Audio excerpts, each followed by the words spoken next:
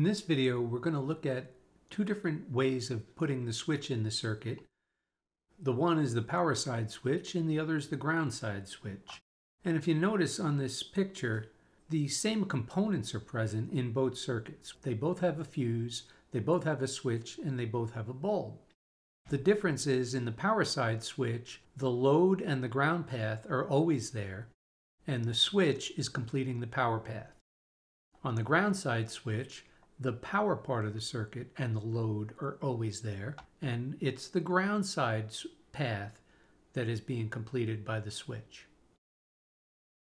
Let's take a look at what the voltages would be at the different points in the circuit and see how they differ if we were diagnosing this type of circuit.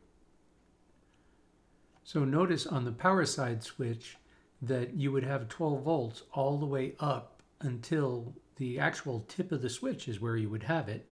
And the whole rest of the circuit, the bulb included, if you were measuring it when the circuit was off, you would have zero volts.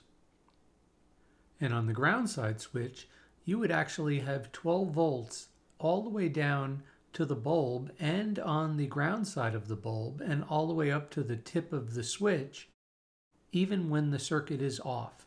So think how confusing that could be for somebody that doesn't understand this. Their headlights are off and they go out to the car and they measure 12 volts on both sides of the headlight while it's off. Now, to you, you realize that that just means that there's a switch in the ground path that's not activated right now. But to them, they could be thinking many things shorted headlight, wiring. When people don't know, they usually use the word short. And while a short can happen in some cases, it's most of the faults on cars are opens where something's disconnected.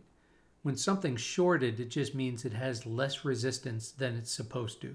And while that does happen on occasion, it's just not what most of the faults are. Most of the faults are opens. So what we're going to do in the next video is we're going to look at the power side and the ground side switch in both the off position and then I've redrawn the circuits in the next video so that they're both on as well. And I want to show you a way of highlighting the circuit using three colors where if you did this and practiced it with several different circuits, it would help you get a really good understanding of the power, load, and ground side of the circuit and where you would expect to measure the 12 volts and the 0 volts. So as we move into the next video, if you have a way of printing the schematics, which will be in the additional materials, additional resources, uh, I would recommend that you print them out and get yourself three color highlighters. The three colors that I'm going to use are orange, green, and yellow, but that's just my personal preference. You just need to identify which ones are going to be the 12 volt color, which one's going to be the 0 volt color, and which one's going to be the color that you use for the load when it's using up the voltage.